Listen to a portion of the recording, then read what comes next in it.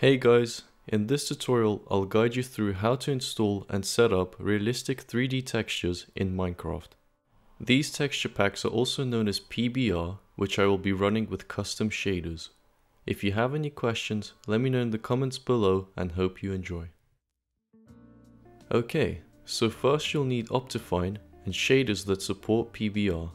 I recommend using BSL shaders as it is the most popular. I will leave links in the description.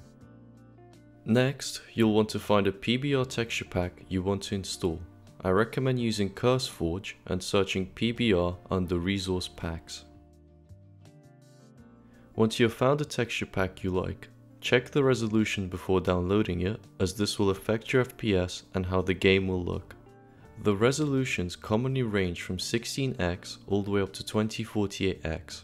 For best performance, I recommend 128x or 256x.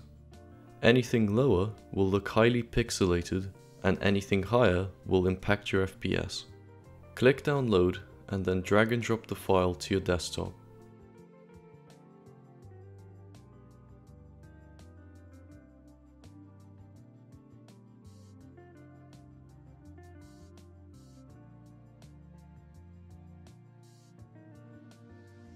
Next, you'll want to launch Minecraft, go to Options resource packs and open the pack folder.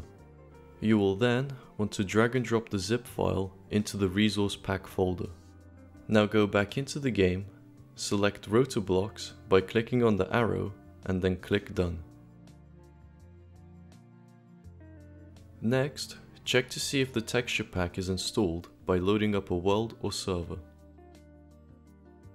Now you can see the texture pack is installed you'll need to enable advanced materials which can be done by going to options, video settings, shaders, shader options, material options and turn on advanced materials. You will also need to set the resolution by going to normals and parallax.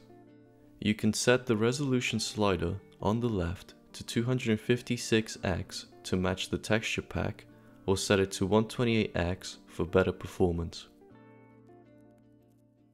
If you still have low FPS, you can also disable reflections by going back once, going to specular and reflections, and turning off specular reflections.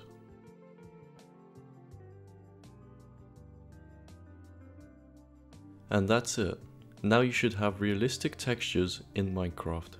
If you found this useful, leave a like and a sub Otherwise, thanks for watching.